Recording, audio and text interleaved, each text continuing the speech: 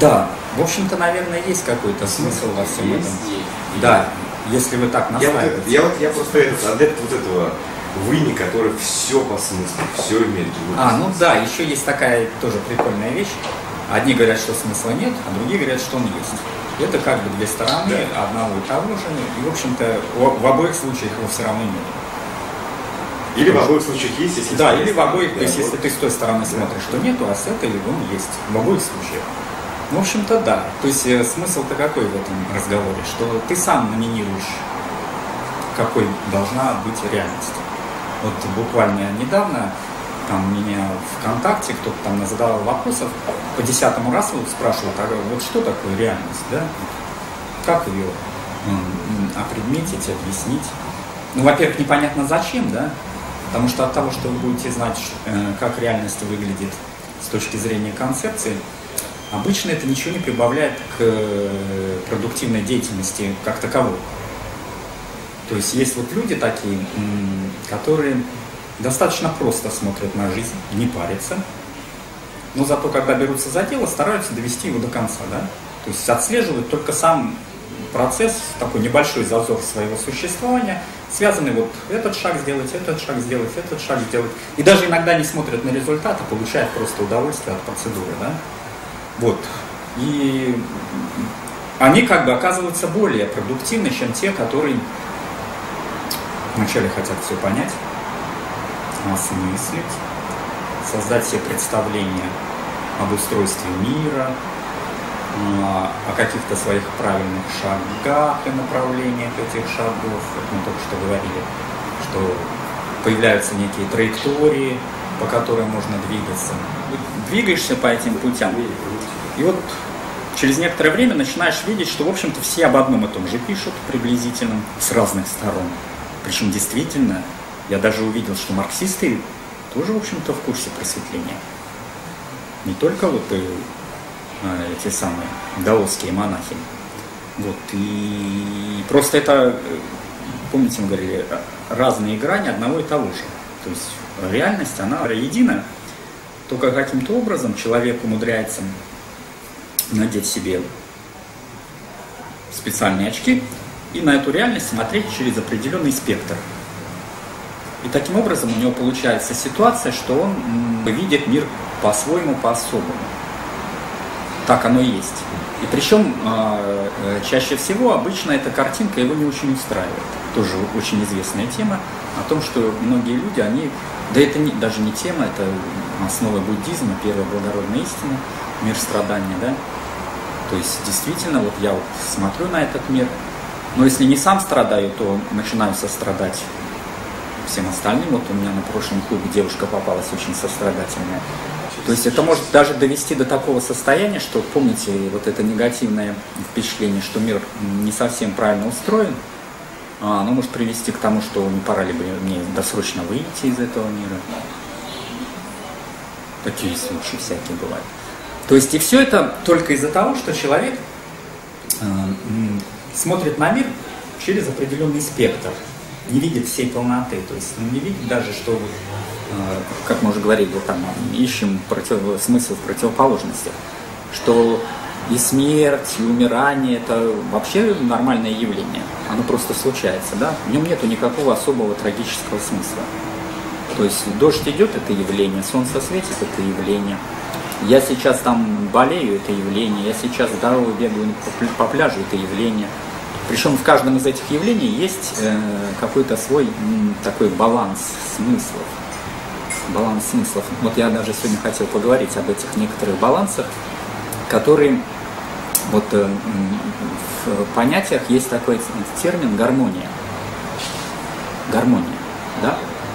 Гармония э, есть как бы геометрическая гармония, знаете, золотое сечение, по нему все в мире разворачивается, листочки растут, эти самые улитки вырастают, э, правильно построенное здание. по золотому- Человек весь. Да, весь принцип, человек, вот человек. этот викторианский этого, э, этого да Винчи, да, является образцом такого вот.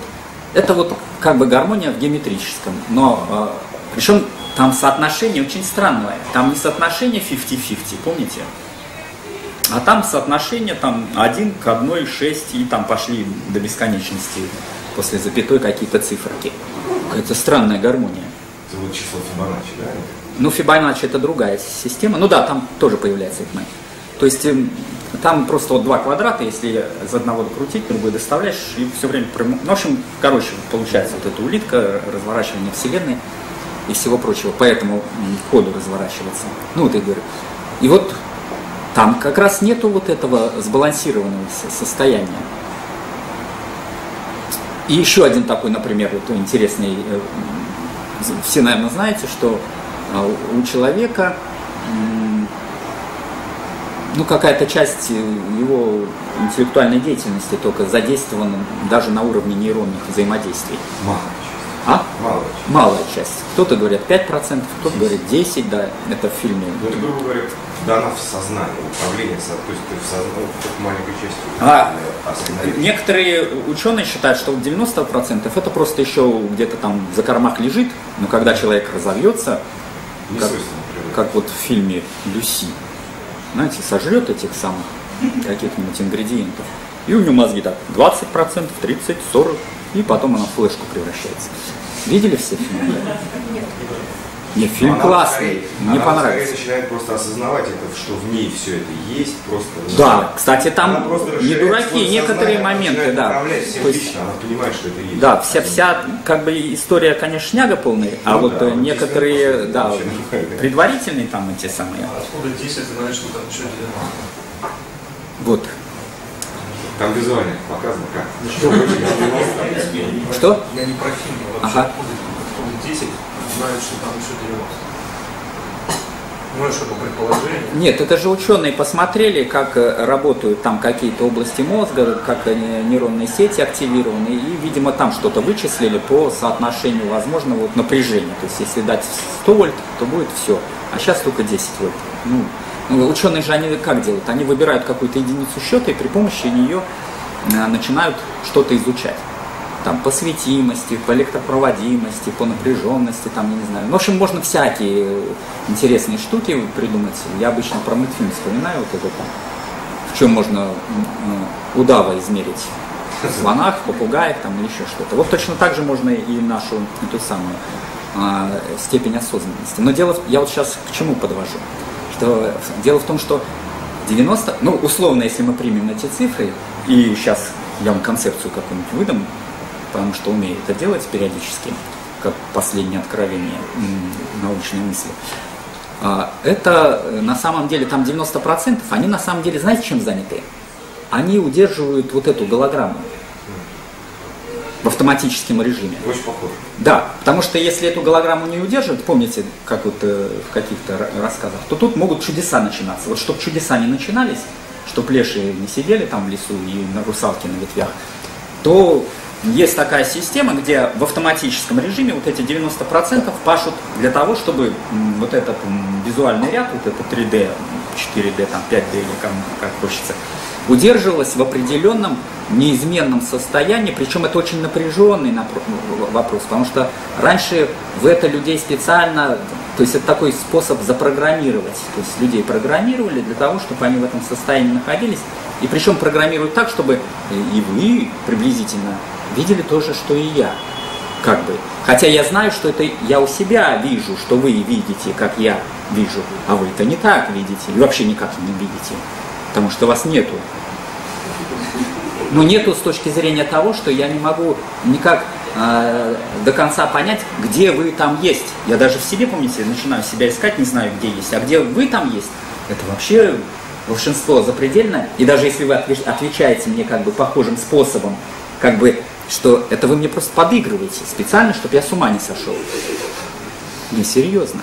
Это так и есть. Вот в этом мы, мы за этим находимся. Да. Дышать тебя все Это так и есть, и причем, я говорю, все так очень сильно подыгрывают, потому что мои иначе... И вот если, например, начать эту пропорцию двигать, на самом деле она, конечно, не такая, она другая. Если ее начать двигать, то тогда начинается вот эта хрень. То есть сбой матрицы. Сразу начинается как Сразу, да. То есть даже да. LCD чуть-чуть принял, Да, да, и там уже вот эта визуализация перестает быть плотной, и начинают и выскакивать эти орангутанги из потустороннего мира. Это поэтому А кто их задает? никто их не задает.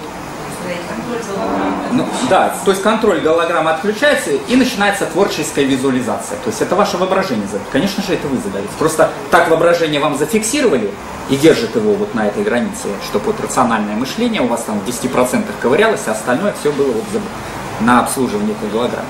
А если разблокировать ее каким-то образом, то все, начинается веселуха. Причем она раньше так и была, веселуха-то. То есть вот до сих пор папуасы, которые там живут где-нибудь в Австралии или еще где-то, они, э, это самое, как бы сказать... С духами общаются. Да, они сон с реальностью путают. Причем именно сон с реальностью путают. То есть у них сновидение может продолжаться в реальности, и наоборот, из реальности может попасть в сновидение. Детская психика. Да, дет, дет, так еще хуже того, они в снах там, ну не в снах, а в той реальности живут, живут там в специальных местах. Я вот недавно какое-то племя такое нашел, если не врут опять антропологи. Есть такое племя, которые, погружаясь во внутренние миры, они там бегают, ну как в осознанном сновидении. Ведут войны и из того мира притаскивают артефакты. Да. И если в том мире его убьют, а там какие-то жуткие муравьи гигантские, там еще что-то, то э, тот, кто сидит здесь, тут же умирает. Поэтому ну, там все... Да, все, да, вот, да, аватар такой. То есть все на самом деле серьезно, и даже еще остались вот папуасы, которые живут в том. Нас же из того состояния выкинули при помощи цивилизации, а цивилизации войне, и удерживают вот эту матрицу в таком серьезе. Поэтому все разговоры о том, что если вы 20, там увеличите работу мозга еще до процента, это значит, вы сразу в дурдом попадаете. Никакого развития у человечества нет. Может, наоборот, будет дальше уменьшение, уменьшение рационального, а увеличение всего вот этого фиксированного. Поэтому вот все там люди говорят, как развить человеческий? Да никак, ни в коем случае нельзя развивать, потому что он сейчас в завуализированном состоянии удерживает, чтобы вы в дурдом не попали. Понятно, да? Поэтому у вас все уже в нормальной гармонической пропорции, сбалансировано. И ничего э, как бы улучшать не нужно, как и вот в гармонической пропорции этого самого геометрии. Если тебя устраивает, то это твое. Если тебя это все устраивает, то, что ты сам совместно воссоздаешь, то можешь оставаться все как есть. А если не устраивает, можно, соответственно, стремиться выйти за эти рамки, что, что угодно. Нет, нельзя.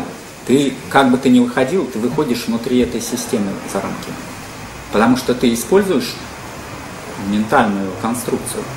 То есть вот то, что э, говорит Зонгчен, это никакого отношения. Это наоборот способ прекратить играть в эту игру. То есть, э, э, то есть вот а, помните там три элемента. Основа, путь и результат. Основа, путь и результат. Основа – это вселенский принцип, который существует как абсолютно ничто, потому что если бы это было что-то, оно бы было в системе нашего мировоззрения. Ну, как вот мы говорили, вот что Бог э, неопределим, потому что если мы его начинаем определять, это значит, мы его наделяем свойствами и качествами человека, ну или человеческих этих самых эмоций. А, там рекпа неопределима, то есть вот эта пустота, которая, ну вот она же есть, как бы качество основы, что это это просто то, что вот вообще не входит там ни в 90%, ни в 10%, это вообще к этому не относится. Все, что вот э, существует, вот эти 10% и 90%, это, ну, тоже, опять же, все так банально, это майя. Бултыхание пустоты, трепыхание пустоты. И существует это только, только потому, что у вас очки надеты. И вы вместо того, чтобы безграничность, видите одну грань. И вот в этой грани все, что остальное безгранично, начинает играть в две игры. Либо это хорошее что-то такое, лучше, чем то, что для вас усреднено, либо это что-то плохое. Ну, в зависимости, если почернее очки, там похуже. Ну, а так как мы такие любители вот этого фильмов ужасов, то у нас у всех они такие классные очки, и поэтому я вот то, что он сказал, это не я сказал, это Будда сказал, жизнь человека это бесконечные страдания и трепыхания, потому что он мир воспринимает, потому что он его воспринимает. Потому что он его воспринимает. Ну, выходит, что боль только потому боль, что ты а? не хочешь, по сути. Что? Ну, в смысле восприятие мира как нечто плохое или отрицательное, или там это все равно зависит от тебя. Я имею в виду, если он потому и отрицательный, потому что ты его видишь отрицательным. Ты его создаешь отрицательным. Весь парадокс еще состоит в том, что мы еще э, накладываем вторую интерпретацию на это. То есть э, мы добавляем, то есть отрицательное, как я сказал, это просто так, да? Ну, я Да. понимаю. я- А если мы начинаем это отрицательно как-то вот с чем-то соотносить, то оно начинает быть отрицательным По отношению к чему? чему-то, да. А это есть вот этот, э, ну, двойственность начинается, да, вот эта дурацкая двойственность. И вообще вот э, сам процесс мышления, тоже эта тема бесконечная, можно тысячу раз к ней обращаться и тысячу раз заново. Почему так ее и нравится обсуждать? То есть я вот то, что вам говорю, я это все уже тысячу раз, ну не тысячу, сто раз уже говорил. Но я сейчас начинаю говорить, я понимаю, что вот новая грань пошла. То есть можно еще раз сказать, ну, поэтому как бы, э, опять же, почему нравятся такого рода вот события? Люди любят вот интеллектуально поиграть во все эти игры. Потому что как бы, вот у меня была одна грань, а вот теперь я смотрю как бы при помощи кого-то с другой грани. И у меня вот по- появляется вот этот небольшой зазор, что я могу вот как бы раз, раз, Другой-то в других очках. да, другой-то в других очках, и я типа его очки надел. И такое у меня легкое такое недомогание возникает, типа... То есть я как бы сам из себя выхожу, да, и начинается вот такой небольшой казус, связанный вот э, с э, тем, что... а, И я понимаю, что еще есть какая-то грань, еще есть какая-то грань, и то есть я могу вот это легкое состояние как-то... А, вот это самое главное. Вот, э, вот я сказал про третьи конструкции. Если у меня получится, я буду сегодня про Дзурчен немножко говорить. А, в этих конструкциях самое это интересное, это то, что должно произойти узнавание. Вот. Узнавание не при помощи того, как я что-то узнаю известное, а узнавание вот этого вот беспредельного. То есть беспредельное, это, как мы уже сказали, это чистый океан, а майя это его трепыхание. То есть беспредельное и мои мысли это одно и то же. Только так как они у меня через очки, то они особенные. А вот когда я говорил, что я на одну грань посмотрел, на другую грань посмотрел или каким-то другим ракурсом посмотрел, я вдруг поймал вот это ощущение, зазор между различными гранями, и поймал вот это ощущение узнавания, что есть некая вот эта э, основа, вот мы возвращаемся к основе, что у, у всякого вот этого трепыхания есть какая-то странная основа. Причем даже вот эти несчастные или счастливые, все люди хороши, счастливые а, ученые, они тоже поняли, ну, уже несколько раз, причем как-то так случилось у них. Вначале это был там в веке 17 был такой Джон Беркли, Юм, философы такие серьезные, серьезные, которые вошли вот в этот крутой субъективизм, и них, до них вот тоже доперло вот эта интересная вещь, о которой я только что говорил в начале, что как бы я там не выворачивался, это все равно мое отношение к реальности и моя интерпретация реальности. Даже если вы меня бьете палкой, это я интерпретирую реальность, как будто она меня бьет палкой, и там больно, не больно. Я говорил даже, что есть такие самураи, которые могут раз, их бьешь палкой, они им не больно. То есть управлять можно этой реальностью. То есть это реальность управ... Это, не забудьте, напомните мне про управляемую реальность, я такой ключик там. А, значит, реальность, она управляемая, управляемая, то есть управляемая моим восприятием, да, да. И вот эта реальность, управляемая моим, восприятием, я могу по поводу этой реальности фантазировать как угодно. Причем а, при помощи вот этих 10% я могу это все загнать в определенные каноны и рамки. Ну, например, там алгебра геометрии есть, комбинаторика, теория относ... Ой, теория этой не относительности, а как там ее? Числами вероятности, теория вероятности. То есть я могу в этих рамках начать рассуждать каким-то образом, например, об устройстве там, физического мира. Но э, когда вот возникли вот эти проблемы, начали расщеплять вот эту ма- материю, вот эта э, теория корпускулярная о том, что атом, молекулы, ой, не молекулы, а эти электроны, они типа как шарики. Выяснилось, что не шарики, а что это просто вот энергия. Закричали, материя исчезает. Материя превращается просто вот, ну там, я не знаю, в трепыхание пустоты, да, в трепыхание пустоты. Причем это трепыхание пустоты, оно вот ну, никак не верифицируемо, то есть больше не- нельзя загнать какого-то какой-то прибор, который будет наблюдать, ну, вот эти частицы. Все частицы дальше это по теории, опять же, вероятностей или по каким-то другим сложным э, формулам, это такие гипотезы по поводу того, что это такое. Помните, я говорил, что а, э, исследователи 60-х годов, они эти гипотезы превратили ну, в какие-то такие термины, мюзоны, бозоны, глюоны там и все такое прочее. И причем эти термины уже никакого отношения не имеют к там, вот, фиксируемой реальности, а это просто концептуальное, ну как бы предположение о каких-то, ну назовем это, складках уже того, чего ни из чего не состоит. Ну, например, последнее представление об озоне, вот самый, на мой взгляд, визуализируемый вариант э, его, вот этого Хиггса, да, бозон Хиггса, много чего говорили, никто толком как это и не понял, что же, как же вот это вот, как вот на ощупь так представить себе, что такое бозон. И вот э, наибольшая мне понравившаяся концепция, это бозон, это значит, вот представьте, там, то есть вот пространство, это типа материя на столе. И по ней там какой-то предмет вы тащите. И на материи возникают складки.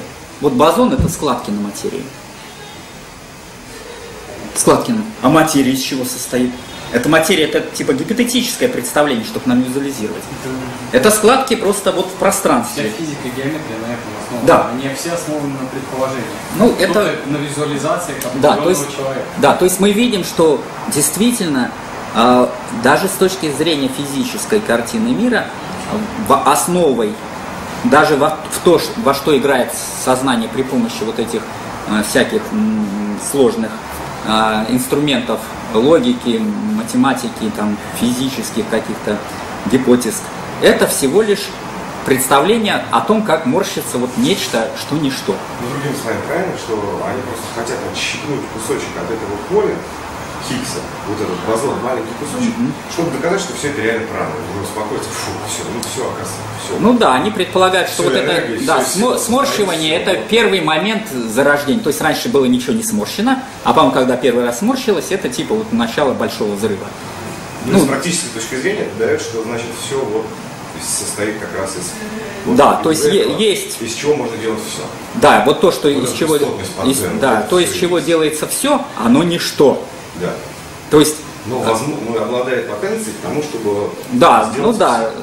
А вот почему мне нравится вот эта э, концепция моря, что действительно это правильно, вот как индусы давно это просекли и говорили, что вот э, вся реальность это волна, волнение на вот море, да, то есть, ну, даже вот по, по концепциям вот этих физиков, это, да, сморщивание пространства, завихрение его там, вибрации, там, его сгущение, расширение, это, но э, то, что сгущается, расширяется, то, что является первоосновой, оно точно такое же, как вот, вот той концепции, о которой я только что вам говорил.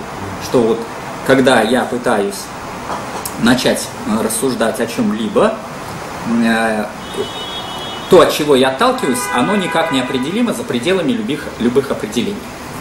За, за пределами любых определений это просто какое-то ничто. Ничто. Ничто. И тогда спрашивается первый вопрос, который может вот уже не играя в игры логические и сложные, потому что там мы запутаемся, а вот э, играя в игру, а, а как же у меня мысль появляется? Как вот в этом ничто появляется мысль? И что такое мысль? Да? Что такое мысль? То есть какая-то первая вибрация. Ну, я вам рассказывал страшную историю, но это совсем было концептуально, что первая вибрация – это дифференциация божественного имени. Достаточно. Ну да, да, она такой, что вот самая элементарная частица, это есть тоже божественное имя, только очень такое раздифференцированное, уже там миллиарды, миллиардов, миллиардов. Понятно, да? Но это, это опять я умом размышляю о неком вот этом надутом пузыре концептуальности. А вот как во мне, вот, как во мне вот эта мысль, причем ведь смотрите, когда мысль у меня появляется, мысль, она наполнена смыслом. Вот мы я вам сказал бессмысленно, а вы начали упираться и говорить, есть смысл. Видите, то есть ваша мысль каким-то образом придает значение, э, ну, например, тому, что происходит здесь. Какой вот, Нужно да, именно та мысль, которая вот мысль, или которую я уже осознаю как мысль, если вы меня понимаете. То есть, ну, вот эта вот мысль-мешалка, которая идет, это же все куски маленьких мыслей. Да, куски вот ну, это- ты все убери лишние мысли, оставь вот первую мысль. Вот, например, мысль «я есть».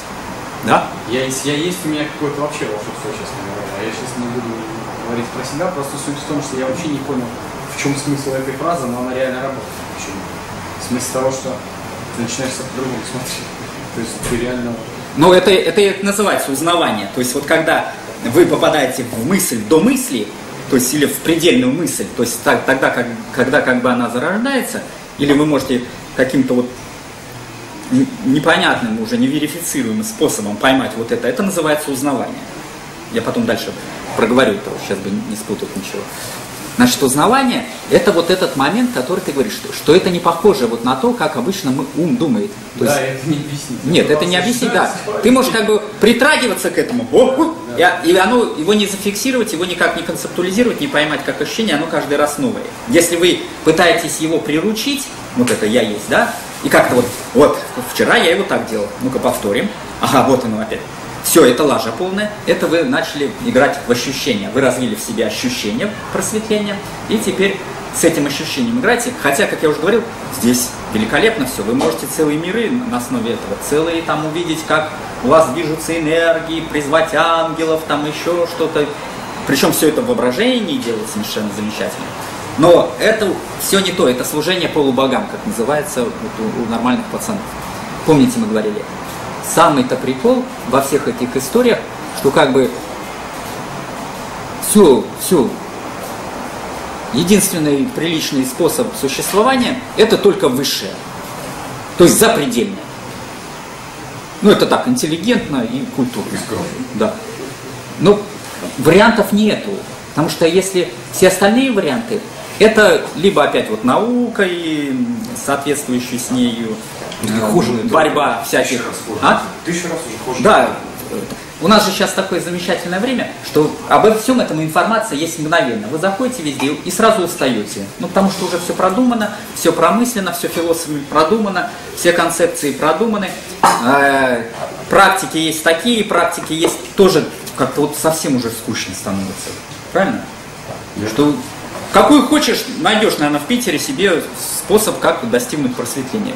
Правильно? Нет. Как нет. Ну, я столько искала и ни- ни- ничего не найти было. А Кашмирского шиваизма нету? знаю. Есть. Это ты просто плохо ищешь. Все Всё есть. не то, все не так. Нет, не то, не то, не так, это другое. Я говорю, что вариации есть. Не. Причем, а? Может, искать не надо. Совершенно верно. Получается, ну тогда получается лажа, то помните, мы, это у нас Обломов, который сел. Ну, так вот. Нет, я имею в виду, что оно уже здесь, понял. Вообще ничего не Искать надо, только не снаружи. Открыть. Вот все в чем проблема. А, ну вот, вот он, вот я говорил, узнавание, вот весь прикол узнавания, что ты его открыл сегодня так, и больше этим попользоваться не сможешь. Если ты оставил себе зацепочку, ну все есть внутри, я это уже один раз поймал, это ты не там находишься. В следующий раз это будет открываться совершенно не так. Знаете, я так удивлялась, когда со мной это происходило. Я думала, что это что-то наоборот ненормальное.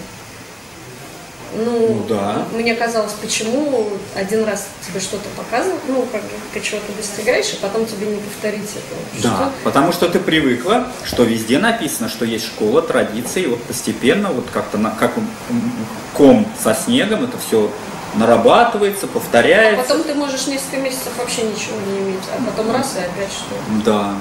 То есть это так. И вот узнаванием называется это не узнавание какого-то чувства, а узнавание вот этого факта, что ничего нету. Своего состояния. да. Даже не со- состояние-то, я говорю, ты за него можешь зацепиться, а вот то, что это состояние никакое, и нигде и никогда не повторяемо.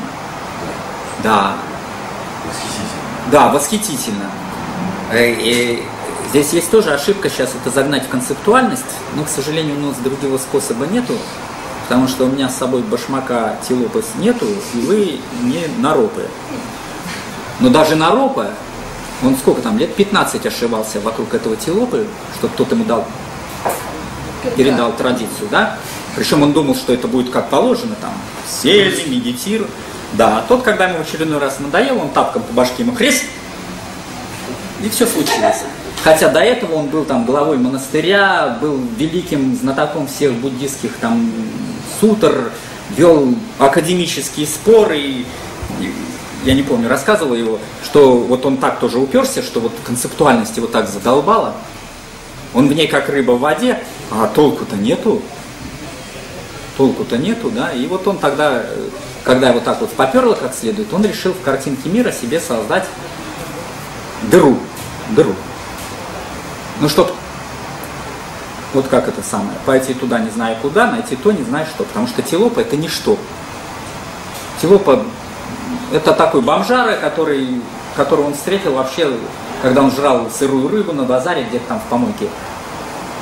У меня какие-то такие мысли, что они так встретились. Вот. Обычно. Да, да, да, да. А этот великий, он там, я не знаю, то ли главой монастыря был, то ли там, в общем, такой серьезный и вот он его так вот прибило, вот, что это открылось вот это. Потому что он не подспадает ни под какие, как, это просто само ничто, вот, само ничто во всем его поведении. Помните, мы говорили, когда человек вот в таком вторгнутом состоянии, там нету человека, нету человека, не за что зацепиться. А так как у него узнавание уже было, он въехал в эту при помощи этого человека. Но мы, вот я для чего привел пример. Сколько он с ним не ходил, никакого того, чего обычные люди ожидают, не было. А просто был вот такой сюжет. И, в принципе, вот все мы, в общем-то, в состоянии вот этого а, наропы, просто единственное, что мы не выучили все, а у нас просто есть интернет, и мы можем туда заглядывать, и как будто все это знаем. А мы действительно это знаем, потому что раз мы что-то можем прочитать, мы это знаем. В том-то и дело, мы сейчас великие книжники, которые владеют всеми книгами и знанием всего мира при помощи интернета. Но это, но это, это такая обманка. На самом деле мы только потому интернет и видим то, что там написано, потому что мы великие видящие вот этого информации. Все мы все в состоянии наропы, который знает все, а толку нету. Толку нету. Толку нету. И поэтому нужно вот это вот узнавание, когда ты а, направляешь свое внимание в никуда. Ну вот как пойти туда не знаю куда, посмотреть туда не знаю куда. А в никуда смотреть куда? В себя, да, в себя смотреть. Тут появляется все равно направление. То есть, ну, как бы, Конечно. лично для меня. Как можно объяснить необъяснимое самому себе? По сути, у нас, то есть, ну, возьмем наш мозг как какой-то инструмент. Ну, Мне сейчас представим. понять не понимаем. А, Ну так вот в том-то все и дело, что как бы м, все ну, учителя или кто пытается что-то понять, кто пытается что-то донести, по сути ничего донести невозможно. Что, Невозможно. По сути, у нас даже И инструменты, тут же возможно. Конечно, как указатель, тебе Да. какой-то там. Да, то есть ты должен всегда не париться по одной части, сразу всегда говорить. И тогда бессмысленно все размышление Я становится. про это и говорю, Да. что все бессмысленно, по сути, само по себе. И объяснение, потому что когда хоть немножко приходишь Но к чему, тогда сразу наступает Обломов. Бессмысленно. я вот про это и хотел спросить. Вот ты как-то- то, что как вот не включаться этому облому. Не включай. Потому что это чудесно. получается, ну, я немножко там пытаюсь, пытаюсь что-то делать ни, ни к чему не предвзято, это, да, это классно и замечательно, но ты становишься реально, то есть, ну, тебе не надо ничего делать. Все и Да. так хорошо. Все, по сути, замечательно. Ну, Наблю- наблюдаешь. Ну, с- сразу же ты можешь даже недолго мысли увидеть, от тебя жена уйдет, Я про это и говорю. да, ты окажешься без работы, и ты сразу включаешь, нет, э, который на нас навешали, Да. он все равно есть. Да. Поэтому это не вариант. Хотя и как вариант его тоже откидывать бессмысленно, потому что он тоже годится. Да. Поэтому тут можно как бы пунктиром. То есть вот полчаса я Обломов, полчаса я Энерджайзер. И тогда как бы вот и не успевает она тебя бросить, она такая, вот, сейчас брошу, сейчас брошу, хоп, время прошло, о, работает вроде бы. Опять деньги понес. Тогда типа все нормально. А, За рулем есть. Ну, а тогда ты, а этот на мотоцикле на ездит. мотоцикле так и езжу. А он ездит Я так. сажусь Я на вот мотоцикл, когда еду далеко, я просто, ну, по преподаватель по йоге, я уже серьезно говорил, он мне говорит, я то есть говорю, что я на ты мотоцикле еду. сказал месяц назад, когда ты был во всей красе. Это он- на машине специально. А, И суть в том, что я говорю, что то есть, ну, я еду на мотоцикле, реально как будто медитирую. Он ха-ха-ха, ну давай, это первый поворот. А по сути в том, что ты дышишь, например, я на мотоцикле езжу с 12 лет, то есть почти ну, больше, чем 25 лет. И то есть э, меня это реально на каком-то... Ты дышишь, я также езжу на мотоцикле. Я на машине 20 раз могу на мотоцикле я как будто вот, ну, и поэтому... Ладно, отличная история, ты можешь до бесконечности нам рассказывать, потому что я говорю, нет ничего более приятного, как рассказывать о том, как ты был вторгнутый в состояние неопределенности. Я этим занимаюсь вот уже 15 лет безостановочно, и каждый раз новая грань появляется, правильно? Э, итак, вернемся к мысли. К мысли. Смотрите, откуда же берется мысль, если ничего нету? Как же вообще, да? То есть, ну, мы уже сказали, что с одной стороны, это как бы такое ощущение, э, а, есть, значит, я есть, я есть. И вот я есть, а, это древний этап э, становления бытия. То есть пока Бог был я есть, он был ничто. Потом он захотел стать чем-то и увидел свое отражение. Причем отражение он увидел в шаре ума. Ну, потому что отражение было везде. А чтобы везде было отражение, оно только в шаре может быть. Понятно, да? Только из центра шара можно смотреть в любую сторону, и вы всегда будете видеть свое отражение. Вот, отражение. Причем в этом отражении э, как бы вот, когда оно чистое и никакое, это, это Бог. Чистый никакой, это Бог. Он сам себя видит, причем никак не дифференцирует себя. Ну, это почти то же самое. А, то есть, смотрите, как обратная вещь. Вот это отражение, это и есть человек. То есть мы теперь с отражения должны посмотреть внутрь того Бога, который смотрит на отражение. Хорошо придумал. Блин, прет опять. Вот. А так как это отражение, оно все время трепыхается, ну, я говорил, дунул ветерок. Ветерок – это когда у меня появилось э, разделение. То есть ветерок – это всегда вот, когда цельное, оно никакое неподвижное. Как только у меня появилось хорошее и плохое, между ними возникло напряжение. Да? То есть вот так появляется вообще материя. Знаете, даже эти элементарные частицы плюс-минус между собой. Вот они, когда едины, это анти... антиматерия. Да, даже не антиматерия, да, это пассивное состояние вакуума, а как только э, воздействие энергетическое происходит, они разделяются и появляется вещественность. Вот, собственно говоря, э, вот, вот это вот на вот этом отражении, когда идет рябь, а отражение это и есть человек, да? А рябь у него там всегда идет, потому что у него постоянное волнение.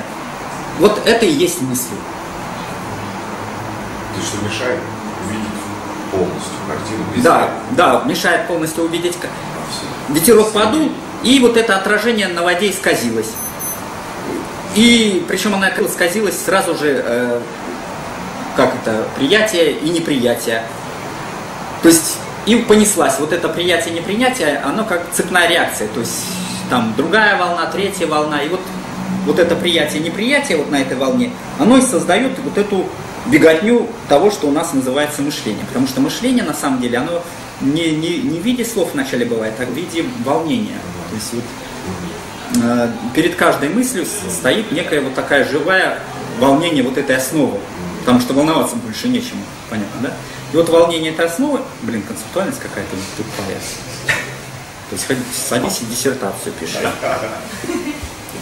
По поводу того, вот как это...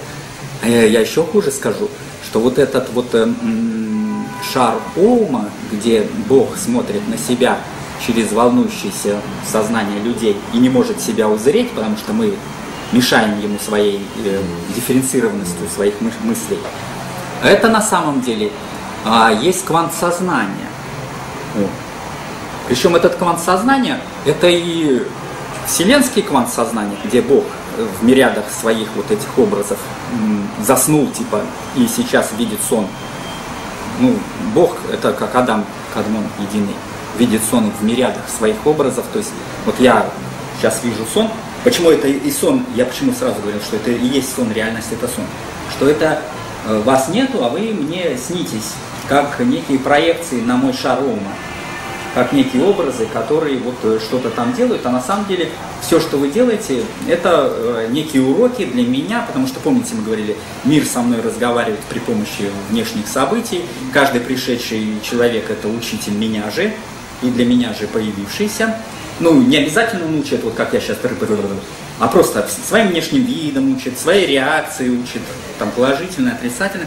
Все это вот, это вот и есть такой вот, это гиперпупер механизм. Но дело в том, что этот шар ума, он возникает в каждой точке внимания. То есть как только я куда-то посмотрел, куда-то я посмотрел, это значит, э, в этом месте произошло напряжение. Напряжение. И из этой точки мгновенно выскакивает весь мир. Вот сейчас я объясню, что я хотел сказать. То есть, вот, например, я сейчас сижу не здесь. То есть мне кажется, что я сижу сейчас здесь, локально мое тело присутствует здесь, и вот он шарома, куда бы я ни посмотрел, везде какие-то образы. Какие-то образы. Для каждого из этих образов у меня есть реакция. Ну, так как-то людей здесь побольше, на потолке почему-то нет. Ну, неважно. Потому что у меня есть картина мира, где на потолке люди не это самое, не располагаются, да? А если была другая, там бы сидели. То есть все это нюансы, потому что как приучить себя. То есть вот есть такая теория, если людям объяснить, например, и долго их учить, например, ну так нас и учат, что, например, там можно, ну я не знаю, там летать, летать.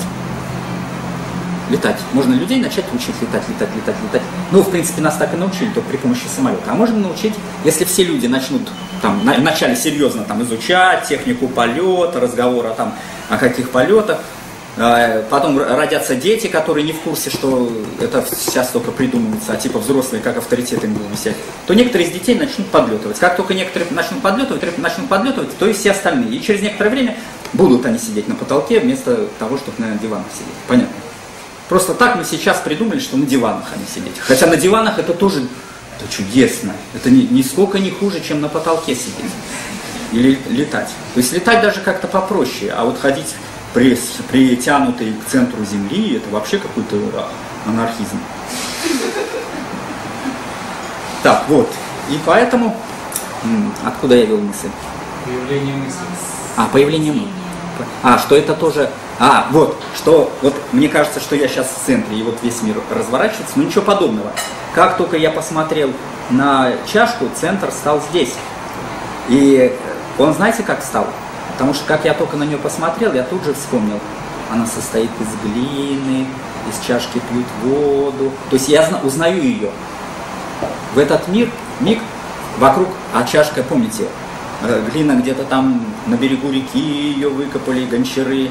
Гончары это тоже люди. И все, начал разворачиваться космос относительно места моего восприятия. Я уже не здесь. Я уже... Устроен, да, я уже... Просто так как у меня якорь очень мощный в теле, мне все время выкидывает в него моментально. Потому что на самом деле а, времени нету. Вот еще весь прикол. Опять же, мне только кажется, что вот я сейчас в теле нахожусь во времени. Времени вообще нету как такой физической категории. Время это всегда пространство. Вот есть пространство кружки, в ней есть время. Есть пространство этой комнаты, в ней есть. Если нету пространства в виде объектов, Времени нету, потому что время это некие процедуры, которые у меня вот внимание квантируют. Вот между этими квантами взгляд сюда, взгляд сюда, взгляд сюда, рождение мира тут, рождение мира тут. Рож... Причем мир рождается вообще, вот, каждый раз он все время рождается. Вот я сюда на миллиметр сдвину, снова вся Вселенная мгновенно рождается. Она не существует как, потому что мы уже сказали, нету никаких недвижимых объектов. Нету никаких недвижимых. Все пустотность. Пустотность. Все вот эти карты. А что же задает тогда вот этот импульс, каждую миллисекунду вот это создавать заново? 90 процентов. А, так, так. Да, они, это вот они. А то есть, грубо говоря, они одушевляют, получается, а, все? Они все, все делают, все делают. Они, я говорю, каждым, причем, помните, я говорил, есть еще такой фокус, как это обнаружить, его софисты обнаружили, что вот я сейчас там если камеры буду снимать, буду останавливать кадр, кадр, вы все время будете на одном месте находиться, никто не шевелится. То есть все время застывшая картинка только существует. А вот между картинкой и картинкой что происходит? Это не фиксируемо ни камерой, ничем, ничем, ничем. Это мгновение между вниманием и восприятием. То есть вот внимание вошло, восприятие вышло. И вот пока внимание и восприятие не вышло, можно вот это двигать. Это у физиков называется постоянная планка. Есть у них там такой, какая-то хрень, при помощи которой они вот эти квантовые скачки высчитывают или что-то там такое вот. Это и есть. Э, это то, что нифиг... Это и есть вот это вот там, где находится вот это наше узнавание. То есть это состояние, когда еще не произошло восприятие. Еще не произошло восприятие. Когда восприятие произошло, вы больше ничего не сделаете. Вас мир затягивает мгновенно, у вас включается дискурсивное мышление, в этот момент никакой медитации не будет. Это будет автоматическое рождение мира, оно такое мощное, такое грандиозное, что в этот момент вы даже не успеете никакую медитацию сделать и ничего такого. Поэтому нас все время любая мысль сразу же отвлекает, уносит в любые миры, потому что неважно, перевел я взгляд на кружку или подумал, ну, о чем-нибудь, о чем я могу подумать. Там, о чем я могу подумать. О чем-нибудь. О чем-нибудь, да. Вот, например, если я о чем-нибудь подумал, все, я попал в воображение. Причем то, что происходит в воображении, то, что происходит, э, глядя на объект э, реальности, и то, что происходит вот в сновидении, это одна и та же природа материализации мира. Просто почему-то в нашей концепции сознания, как вот я говорю, потому, потому что мы не путаем сновидение с э, бодрствованием, у нас есть концепция, которая объясняет, что это нельзя путать, они разведены.